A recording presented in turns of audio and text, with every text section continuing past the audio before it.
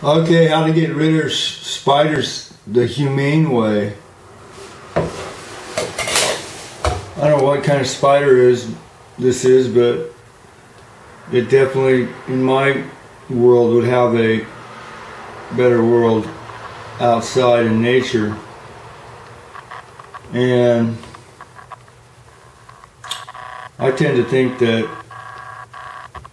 these guys serve a certain uh, purpose in the ecosystem. So I tend to try and keep them around and so they can fit in there and do their do their thing in the ecosystem. So what you might want to try and do is bag them up. Ask them in a friendly way if they want to like to move out into the country.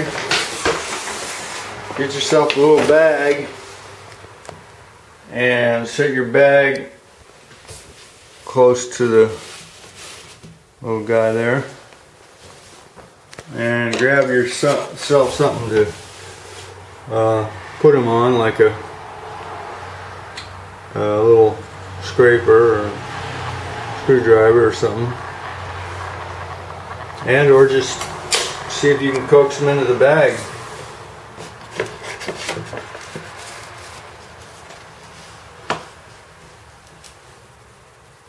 Come on, guy. You want to go for a ride? You can going out in the country, man. You have a better house out there. You know, more wildlife to interact with. Just hop on in, dude. Come on now. Don't be shy. Okay. Okay, there he is. So, I'm to just take him out. Outside in the bush.